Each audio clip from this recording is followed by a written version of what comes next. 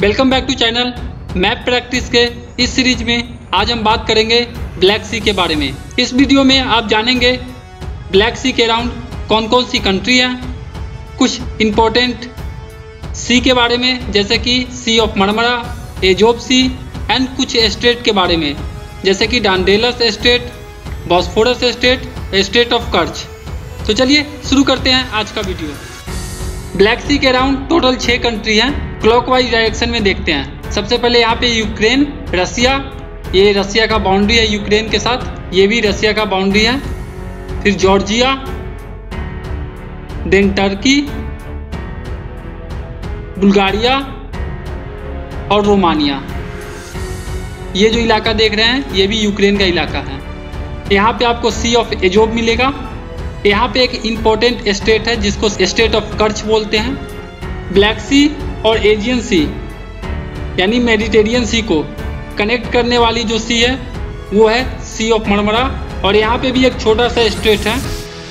इसको बोलते हैं बॉस्फोरस स्टेट और एजियन सी और सी ऑफ़ मरमरा को जो कनेक्ट करती है, उसको बोलते हैं डार्डेनस स्टेट ठीक है? तो आगे देखते हैं एक एक करके सारे सी और स्टेट के बारे में। सबसे पहले स्टार्ट करते हैं ऊपर से। ऊपर में हमारा था sea of Azov sea of Azov mainly दो कंट्री के बीच में है। एक रसिया और दूसरा यूक्रेन। और ये जो आप इलाका देख रहे हैं, ये क्रीमिया है, जिसपे अब रसिया का अधिकार है। और ये सी ऑफ़ एजोब और ब्लैक सी को जो कनेक्ट करता है, उसको स्टेट ऑफ़ कर्च बोलते हैं। यहाँ पे ऊपर में आपको टोगनारोग गल्फ मिलेगा, जो कि रसिया के साइड में है। और यहाँ पे ये जो आप देख रहे हैं सेबेस्टोपुल ये बहुत ही इम्पोर्टेंट बंदरगाह है। सी ऑफ़ एजोब में दुनिया का सबसे बड़ा स्पीट है। स्पीट मतलब एक ऐसा लैंड जो समुद्री सीमा से थोड़ा आगे तक निकला हुआ हो, उसको स्पीड बोलते हैं। इस पिक्चर में देखिए आप, ये मेनलैंड है और ये समुद्री सीमा है, जिसका लैंड थोड़ा आगे तक निकला हुआ है। इसी को बोलते हैं स्पीड और यही है अराबत स्पीड ये करीब 70 माइल्स लंबा है और दुनिया का सबसे बड़ा स्पीड यही है अराबत स्पीड जो कि सी ऑफ़ एजोब में है। इस मैप को ध्यान से देखिए। मैं पहले बताया कि आपको पहले सी ऑफ़ एजोब मिलेगा।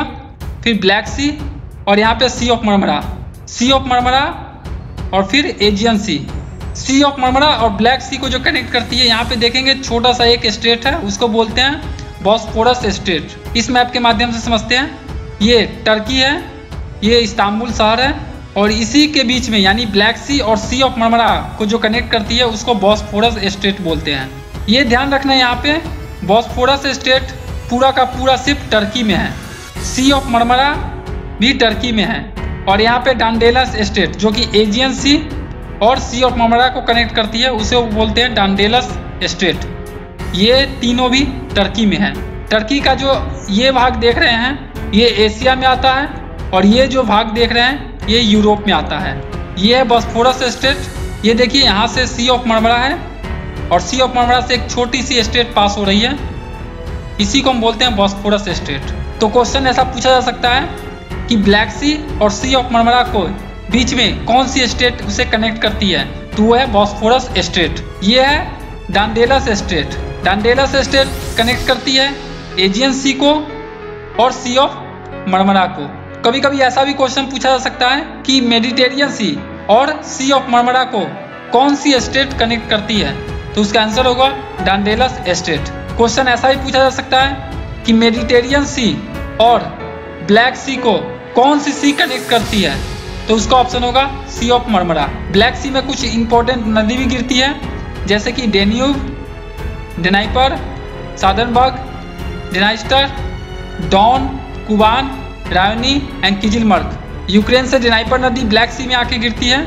डॉन नदी, जो कि रशिया की काफ़ी इंपॉर्टेंट नदी है। वो भी ब्लैक सी में आके गिरती है, लेकिन वो सी ऑफ़ एजोब में आते के गिरती है। तो कभी कभी क्वेश्चन ऐसा भी आ सकता है डॉन रिवर किस सागर में जाके गिरती है? तो सी ऑफ़ एजोब फिर यहाँ से कुबान रिवर भी, आपका रसिया का रिवर है टर्की से किजलबर्ग रिवर गिरती है डेन्यूब रिवर यूरोप की बहुत बड़ी नदी है, वो भी ब्लैक सी में आके गिरती है, और डिनाइसर रिवर भी यहीं ब्लैक सी में आके गिरती है।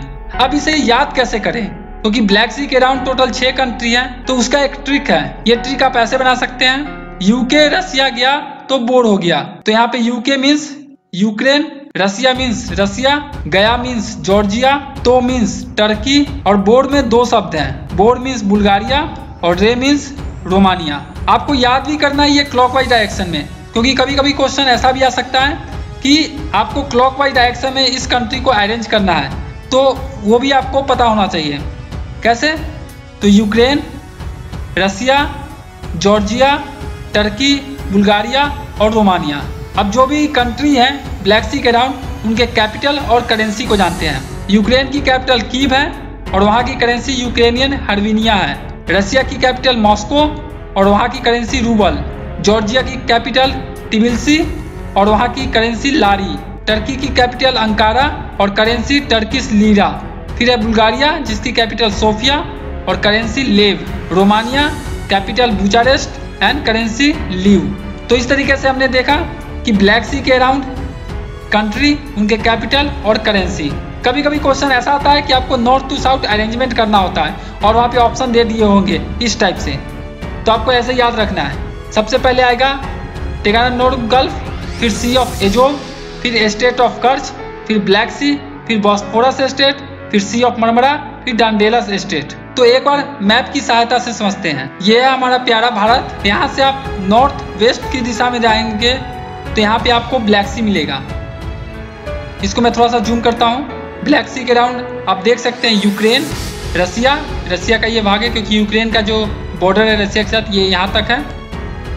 ये ध्यान रखिएगा क्रीमिया अब रसिया के अंदर में है। यहाँ पे जॉर्जिया टर्की यहाँ पे इस्तांबुल है।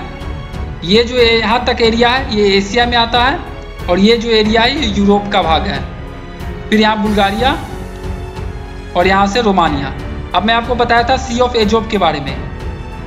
तो ये देखिए, ये सी ऑफ़ एजोब है और यहीं पे वो गल्फ है, जो कि इसके नाम पे है टैगनोर गल्फ यहाँ पे वो स्प्रिट है अराबर्ट स्प्रिट इसी को अराबर्ट स्प्रिट बोलते हैं। ये देखिए, कितना लंबा है ये, सत्तर माइल्स के लॉन्ग ये लंबा स्प्रिट है जो दुनिया का सबसे बड़ा है। फिर यहाँ पे देखेंगे कर्च स्टेट है, जो कि इस शहर के नाम पे इसका नाम रखा गया। तमान बे भी यहीं पे है, इसको भी आप याद कर सकते हैं। फिर यहाँ से नीचे जाएँगे तो मेन ब्लैक सी आपको नज़र आएगा। यहाँ पे इस्तांबुल है, और इस्तांबुल से ये छोटी सी स्टेट पास हुई है, जिसको बॉस्फोरस स्टेट बोलते हैं, जो कि कनेक्ट करती है ब्लैक सी को और सी ऑफ़ मरमरा को। ये देखिए, ये सी ऑफ़ मरमरा है। यहाँ से फिर सी ऑफ़ मरमरा कनेक्ट करती है एजियन सी को और यहाँ पे ही है डांडेलस स्टेट ये देखिए डांडेलस स्टेट तो अगर किसी को अटलांटिक ओशियन से ब्लैक सी में जाना है तो यहाँ से वो कनेक्ट होते हुए जीवलाटर जो स्टेट है, वहाँ से कनेक्ट होते हुए ये मेडिटेरियन सी में आएगा।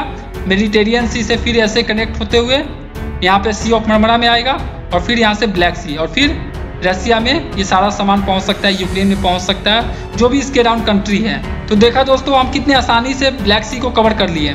इससे पहले मैंने मेडिटेरियन सी के बारे में भी मैप की सहायता से बहुत आसान शब्दों में एक वीडियो बनाया है। उसका लिंक आपको डिस्क्रिप्शन बॉक्स में मिल जाएगा। चाहे तो आप उसको देख सकते हैं। आने वाले वीडियो में हम कुछ और सी के बारे में बताएँगे। Thanks for watching